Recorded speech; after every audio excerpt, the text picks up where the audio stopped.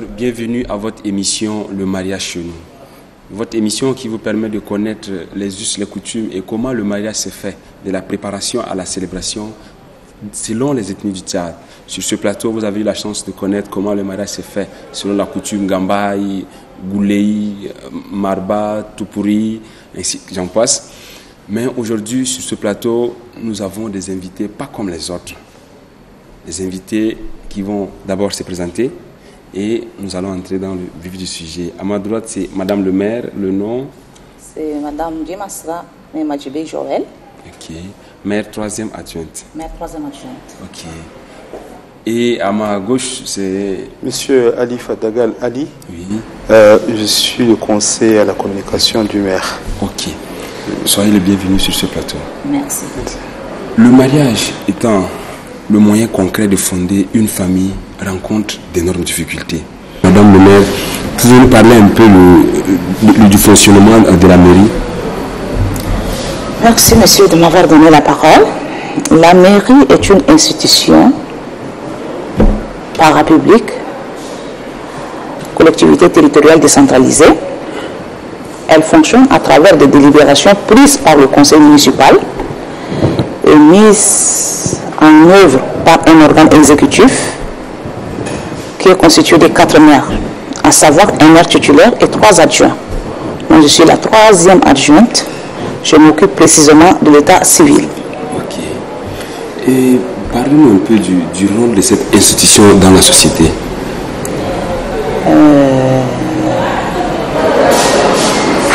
La mairie, comme je venais de, le- de- de- de la souligner, la mairie est une collectivité territoriale décentralisée.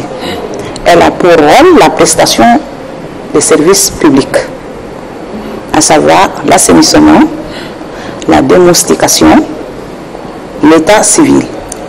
Je peux citer enlèvement des ordures, le curage des, curage des caniveaux, etc. Ok. Monsieur le conseiller, Oui. si vous avez mot à ajouter aussi. Bon, justement, comme euh, Madame le maire vient de le dire, euh, la mairie a pour mission, n'est-ce pas, la prestation des services publics, pas dévolue à la mairie. Et donc, euh, moi je dirais, n'est-ce pas, que la mairie a pour aussi la mission d'assurer le bien-être, n'est-ce pas, de la population de, de son territoire. Voilà, c'est ça.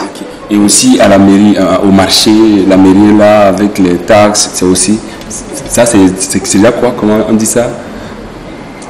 Votre terme technique Ah, De- de le recouvrement des taxes euh, Ah, voilà. sur le marché, tout ça, c'est pour appuyer, n'est-ce pas, tous ces euh, tâches, n'est-ce pas, qu'elle vient d'énumérer. Ok. Parce que sans argent, on ne peut rien faire. On Voilà. ne peut rien faire, Voilà, bien sûr. c'est ça. Nous allons nous attarder maintenant sur la question du mariage, comme Madame le maire s'occupe de, de l'état civil. D'abord, à la mairie, comment vous définissez le mariage à la mairie, je peux définir le mariage comme l'union entre deux personnes. L'union entre deux personnes euh, dans le but de vivre ensemble, former un couple à vie. Autrement dit, je peux dire que le mariage euh, est une cérémonie civile ou religieuse qui scelle une union. Et comment le mariage se célèbre Et quelles sont les, différentes étapes que la mairie accepte et propose ou impose à la population? Je m'en veux vous dire en tant que maire, euh, je m'occupe précisément de l'état civil. La mairie n'a pas à imposer, la mairie propose. Ça veut dire que nous, quand euh, les intéressés viennent nous voir, les congés se rapprochent de nous, on leur demande de déposer la demande de mariage. Lorsqu'on dé- dépose la demande de mariage, nous on leur remet un imprimé. Ça veut dire que l'imprimé, dans l'imprimé, il y a des questionnaires. Ils remplissent les questionnaires. Une fois retournés les questionnaires chez nous, ça veut dire qu'on récupère euh, l'imprimé. Ça veut dire que dans un délai de 30 jours, nous on fait la publication. Dès lors que la publication est faite, nous on observe dans le délai de 30 jours, s'il n'y a pas une réaction, il n'y a pas une opposition, le mariage peut se célébrer librement. On peut célébrer le mariage librement en public ou en privé. Pourquoi en public, pourquoi en privé? Pourquoi pas seulement en public, mais ou bien les deux? Oui. Ah, On dit en privé, ça, ça dépend. Ça veut dire que c'est sur la demande des intéressés, des conjoints. Ils peuvent dire que non, moi je décide de célébrer le mariage chez moi. Chez moi, ok.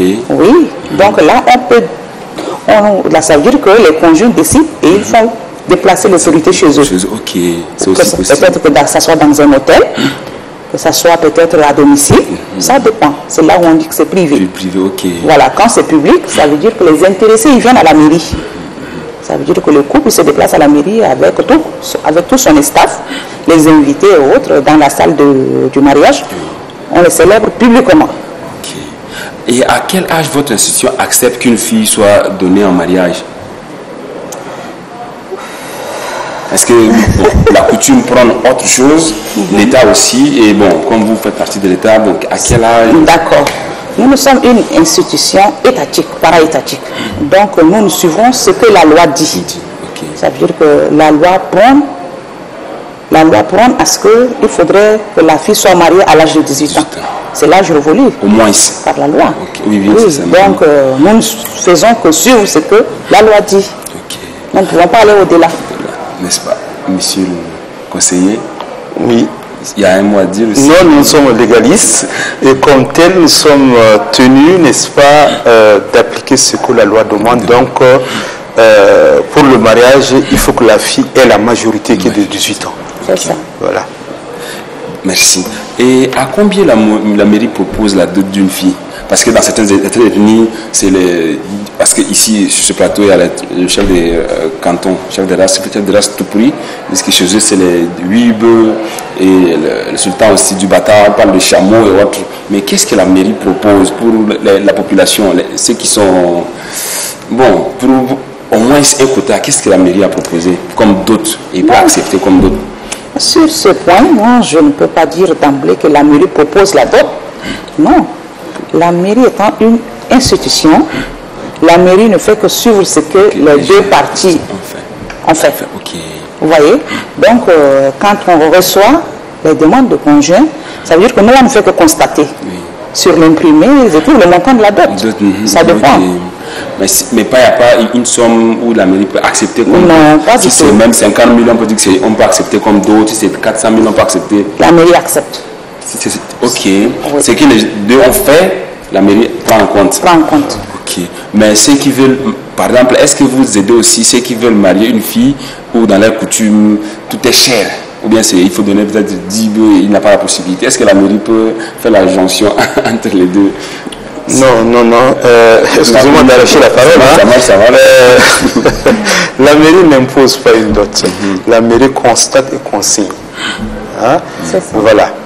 Constate et consigne. Ok. Voilà. Simplement ça. Merci. Et que faites-vous pour harmoniser euh, la relation entre la loi contre le mariage des enfants que la coutume prend La coutume dit c'est mieux que la fille aille tôt, euh, se marie tôt pour ne pas qu'à l'âge de tel elle soit. Mais la loi dit, dit 18 ans. Qu'est-ce que vous faites, vous faites pour harmoniser la loi entre la coutume et la loi? Oui, euh, comme nous venons de la souligner, nous sommes une institution étatique, para-étatique. Nous ne pouvons pas aller à l'encontre de ce que la loi dit. Vous voyez? Donc, euh, nous, nous suivons ce que la loi a dicté. Oui. Et la coutume ne pourra que s'aligner.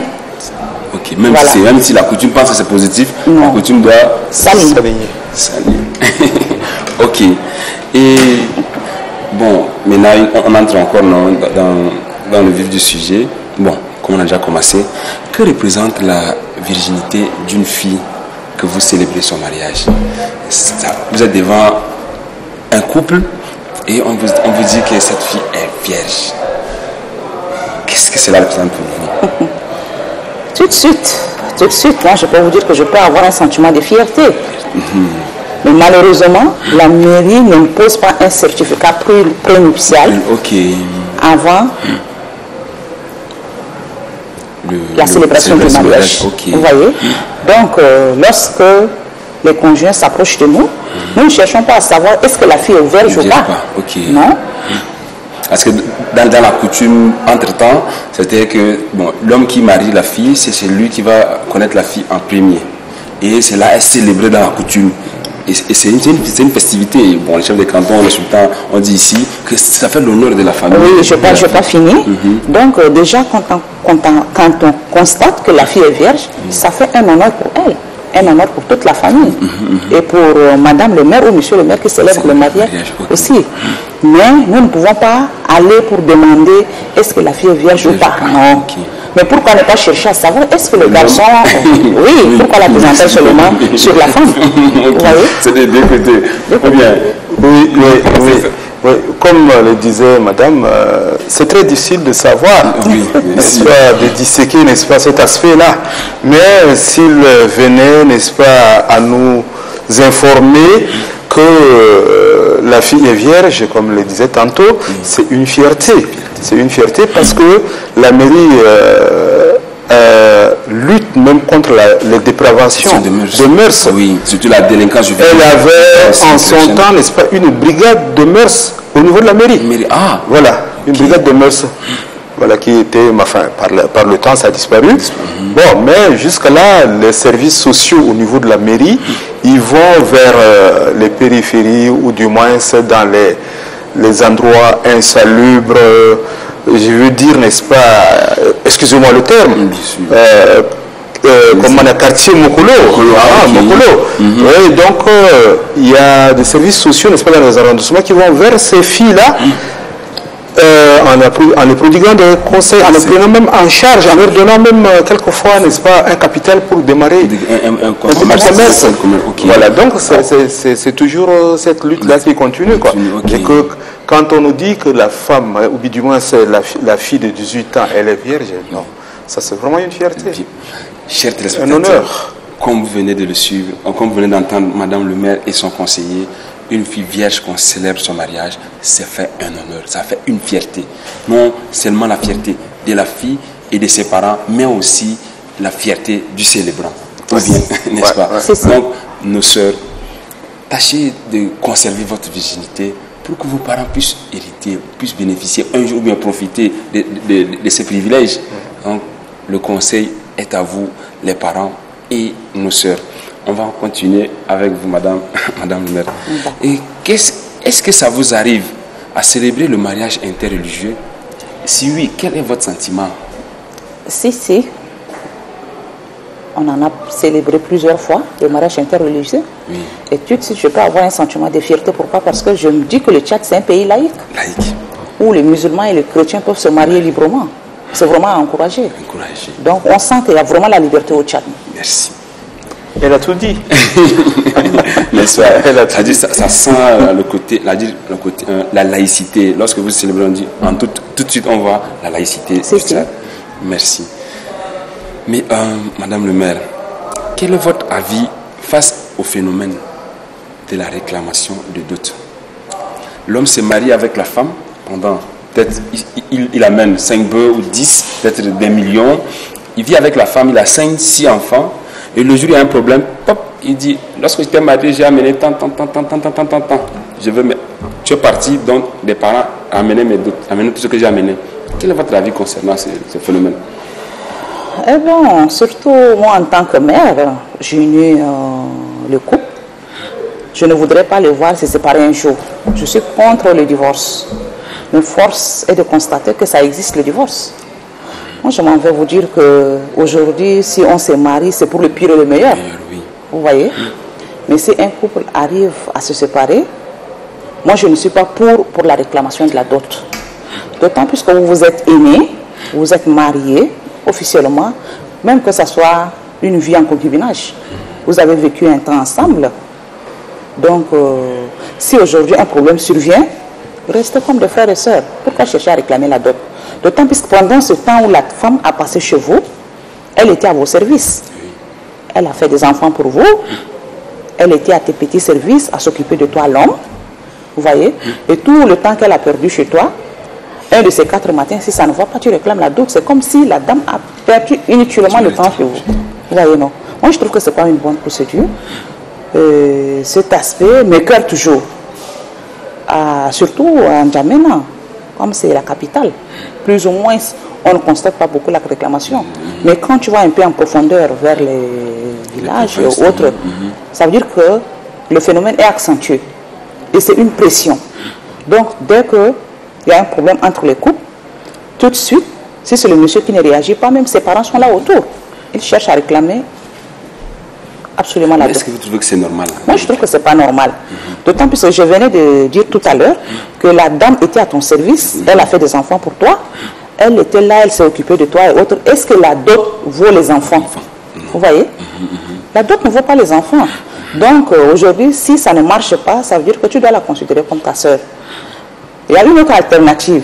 Il y a des hommes, quelquefois, quand la femme s'en va, une manière de la reconquérir, il peut dire que non, moi, si tu décides de partir, on doit me rembourser ma dot. C'est une manière d'obliger la femme à rester. Vous voyez?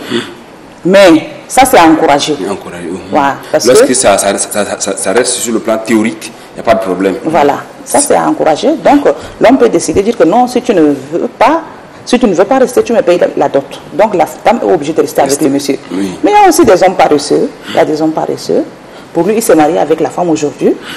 Si ça ne marche pas, ou bien il est incapable peut-être de supporter la femme, ça veut dire qu'il fait semblant, il crée des situations difficiles. Ça veut dire que le climat devient invivable. La femme décide de partir. Et lorsque la femme décide de partir, ça veut dire qu'il se met à la trousse de la femme, il dit qu'il veut, il revendique sa dot. Et lorsqu'il revendique la dot, c'est pour aller encore se remarier. Vous voyez ce phénomène. Donc moi, je ne suis pas pour la réclamation de la dot. Ok. Ah, ah. Monsieur le conseiller, Oui, nous sommes pour l'union, bien sûr. mais pas pour le divorce. Ok. Et puis encore la réclamation de la dot. Ça ça- ça n'a pas son sens. Non, ça n'a pas son sens. Ok. Chers frères, chers compatriotes, comme Madame, Madame le maire et son conseiller viennent de, viennent de- de- de le dire, unis pour la vie, inutile de se séparer. Et puis encore de réclamer la dot lorsque les enfants sont déjà là. Comme en là on dit, les enfants, même si la femme, bon, entre les deux, même si quelqu'un est parti, euh, bon, quelqu'un est décédé, les- enfants représentent déjà la personne qui est partie. Donc, si déjà les enfants représentent les, les- les deux, ou les enfants qui sont le fruit de l'amour, sont là et après encore on vient réclamer la dot, c'est pas normal. Donc, essayons de prendre conscien- conscience et de changer ce comportement. Merci. Et le contrat de mariage. Contrat de mariage. Ça veut dire que le contrat est dressé par un auteur. Et ceci pour n'importe quel régime matrimonial. hein. Ok. Ça veut dire que ce contrat est pour les futurs mariés de décider de choisir la communauté du bien ou bien la séparation du bien. Vous voyez Et les biens qu'ils ont acquis avant la célébration de leur mariage, ils doivent les énumérer. Moi, je conseillerais beaucoup plus euh, les futurs mariés, que ce soit les gens qui vivent ensemble, de se rapprocher beaucoup plus du notaire. Du notaire, Parce que c'est un domaine purement juridique. Ah, le notaire peut vraiment donner amplement explication Merci. par rapport à ça. Hmm. Parce qu'on se dit qu'on se marie, c'est pour le pire et le meilleur. Et c'est On ne se marie pas pour se séparer demain. Amen. voyez ok. Le message, je pense que c'est bon. Non, le message, il est, il Le est- message il est. Il bon. Sauf que euh, nous allons profiter de votre micro, n'est-ce pas, pour euh, dire euh, aux concitoyens candidats au mariage d'aller au préalable, n'est-ce pas, avoir un notaire pour se faire délivrer, n'est-ce pas, ce contrat-là. Ce contrat-là, parce que ça arrange beaucoup de choses. Hein, en cas de désagrément, quoi. ça arrange beaucoup de choses. hein. Merci. Voilà. Parce que vous voyez le cas chez nous, par exemple, si aujourd'hui le couple, le couple vit ensemble, si la femme décède, le plus souvent quand le mari décède, il y a trop de problèmes de succession. Oui, tout, tout. Vous voyez Donc s'il y a ce contrat de mariage, on l'inclut dans l'acte de mariage avant la célébration. Ça veut dire que tout de suite, quand ça arrive à la justice, le juge saura les départager. Départager, Il n'y aura pas assez de problème. Problème, ok. Vous voyez Donc on les exhorte, avant de se marier, de voir le notaire, contracter un contrat de mariage. Ça pourra vraiment arranger la mairie. Ça va faciliter beaucoup de choses. chose, hein. Le message est plus que passé, je suis sûr. Les autorités traditionnelles se plaignent que la jeunesse mène une vie contraire aux us et aux coutumes, ainsi que les leaders religieux se lamentent que la jeunesse ne suit pas les préceptes divins. Pourtant, ces deux institutions sont l'essence de, la morale. Mais pourquoi euh, la jeunesse construit sa vie ainsi? Sur quoi la jeunesse construit sa vie? Et sur ce chemin qu'elle marche, trouvera-t-il la lumière au bout du tunnel? Parce que maintenant, ce que la, tradition dit, les jeunes, la jeunesse ne suit pas, ni ce que la religion dit. Maintenant, c'est une vie sans l'air. Est-ce que vous êtes sûr que la jeunesse, il y a un message à dire? Je pense. Oui, euh, je m'en vais vous dire que partout, euh, ça, va- ça veut dire le comportement actuel de la jeunesse. Ça décourage tout le monde. Ça veut dire que c'est compte tenu de l'évolution du monde.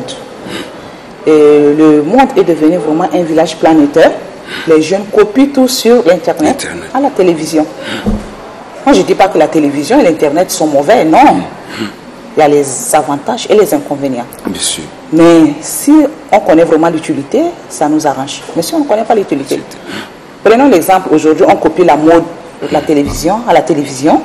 Les garçons portent les pantalons bas-fesses, les fesses sont dehors. Les filles avec les chemisettes, les seins dehors. Non. Ça veut dire que c'est, ça veut dire que le- nos coutumes. Le message n'est pas, pas- pas passé. Les gens n'ont pas, voyez? les gens n'ont pas compris ce que- ce qu'elle doit faire. Justement. C'est-à-dire Donc, euh, suivre et copier un problème. voilà. Le corps de l'homme est vraiment sacré. Bien sûr. Il faut vraiment conserver le corps de l'homme que porter des trucs extravagants, chercher à exciter, chercher à provoquer. Moi, je trouve que c'est pas du tout bon. Je conseillerais beaucoup plus la jeunesse à avoir vraiment un comportement décent, ça. Responsable. Et sur ce point, les parents aussi sont interpellés. Bien sûr. Oui, il faut donner une bonne éducation à ton enfant, surtout quand tu vois l'enfant en train de sortir et s'il s'habille trop mal, tu peux l'interpeller. Écoute, ce que tu as porté, c'est pas bon, tu reviens, tu changes ça. Au lieu de laisser l'enfant aller, et puis voilà, il se retrouve dans la nature. et-. Tout le monde est interpellé, hein, Interpellé. par rapport à Monsieur l'éducation. le moi aussi. Oui, effectivement, tout le monde est interpellé. Et là, nous demandons, n'est-ce pas, à la jeunesse, n'est-ce pas, à nous de, de copier, mais de bien copier. De bien copier. Voilà, ce qui peut cadrer avec euh, nos coutumes, le bon ordre social. Il faudrait, n'est-ce pas, que la jeunesse euh, ait les pieds sur terre. Quoi. Merci. La jeunesse doit avoir le pied sur terre.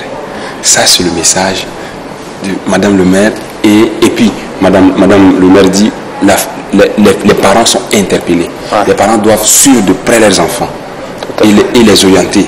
Mais c'est pas, mais c'est les enfants aussi qui ne veulent pas écouter les parents. Qu'est-ce qu'il faut dire? Il faut toujours prior- prioriser le dialogue. Il faut dialoguer avec eux, chercher toujours à les faire revenir en arrière. Jésus Oui. Donc, euh, cela ne veut dire pas que quand l'enfant ne t'écoute pas, tu dois le laisser à faire de n'importe quoi. Non. Merci. Notre émission, émission tire à sa fin. Madame le maire, face à cette dépravation de mœurs qui va, euh, et c'est cette délinquance juvénile qui, qui ne fait qu'aller crescendo, votre mot. Bon, Un mot. Mhm. face à cette situation, moi je conseillerais beaucoup plus la jeunesse à revenir avoir pied sur terre, comme on venait de le souligner. Donc, euh, chercher à avoir un comportement responsable, avoir un habillement vraiment décent. Et je, je, je m'appuie toujours, ça veut dire que je demande toujours aux parents de nous donner un coup de main. Les parents sont interpellés aussi à ce niveau. Donc les parents doivent suivre l'éducation de leurs enfants, donner vraiment une éducation vraiment responsable à leurs enfants. Les parents, donnez une éducation responsable à vos enfants. Ça, c'est le message de Madame le maire. Monsieur le conseiller. Bon, moi, j'emboîte euh, le pas de madame en demandant, n'est-ce pas, aux parents, n'est-ce pas, de, euh, de bien éduquer ou, ou du moins, n'est-ce pas, de bien conseiller leur enfant. Mais au pire des cas, hein, moi, j'envisage la coercition. La coercition, c'est au niveau de l'État. L'État. Ok. Merci. Chers téléspectateurs, merci d'avoir suivi cette émission. Je vous donne rendez-vous la semaine prochaine pour un nouveau numéro. J'espère que vous et moi avions bénéficié de ce temps pour connaître et profiter, pour écouter le conseil euh, de invités. Inch'Allah, la semaine prochaine, on se retrouve. Merci, Madame le maire, d'être passée. bon, merci beaucoup. Merci beaucoup. Merci. Merci. Merci. C'est à nous de vous remercier. Non, bon, on est- C'est à nous de vous remercier.